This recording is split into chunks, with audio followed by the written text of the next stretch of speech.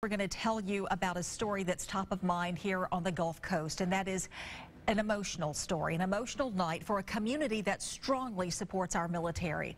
A ceremony with Blue Angels holding candles in honor of one of their own, Captain Jeff Kuss. News 5's Alan Carter reports from Veterans Memorial Park in Pensacola.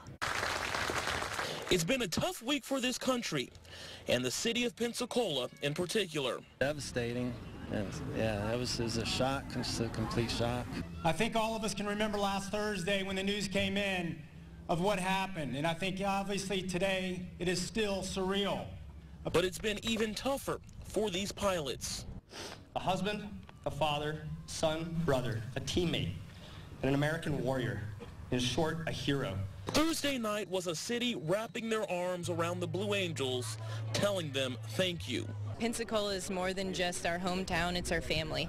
And so for to see this support, to have the support that we've always had, but to see it come out in these numbers is amazing and, and we couldn't ask for a better town. We're behind them. Yeah. Sense of support, yeah.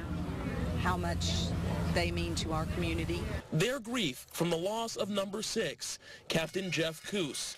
So tonight, they'll memorialize him with words.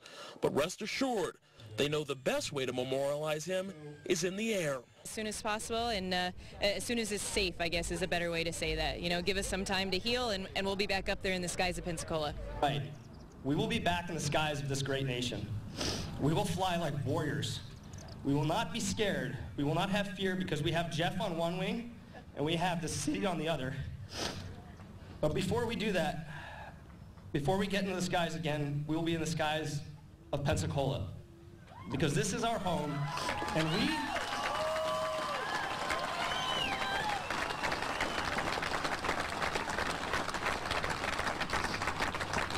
This is our home, and we are your team.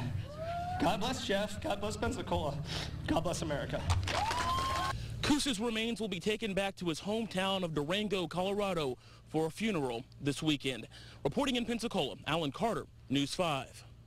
And you can help the family of Captain Kuss by giving financially. There is a GoFundMe page. It's been up for about six days now, and they've raised more than $300,000. Their goal is to reach $500,000.